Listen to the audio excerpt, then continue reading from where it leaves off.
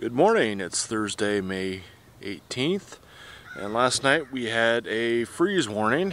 You can see I got a little bit of frost here on the uh, broccoli, and let's see how the uh, garden did. So I tried to prepare last night, so I covered up my boxes a bit. Temperature sensitive, or freeze sensitive uh, items in it, I tried to cover.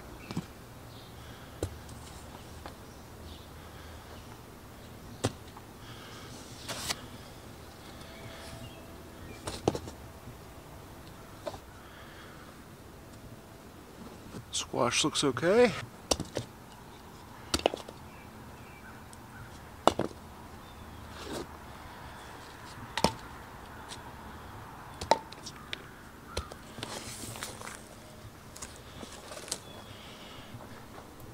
Mm. The squash plants look okay. Now for the tomatoes and peppers.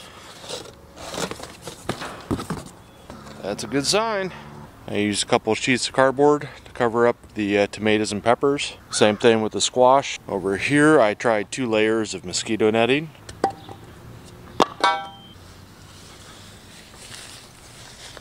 Cilantro seems happy. As well as the basil plant. Lavender looks like it's doing okay.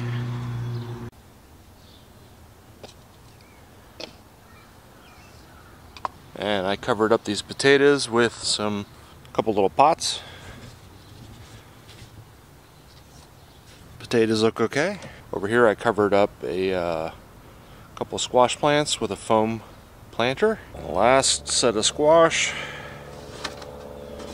Okay, I think we're in good shape. The frost may have killed off the uh, grapes, so I might not get grapes this year. But uh, we'll see how that goes later on in the year.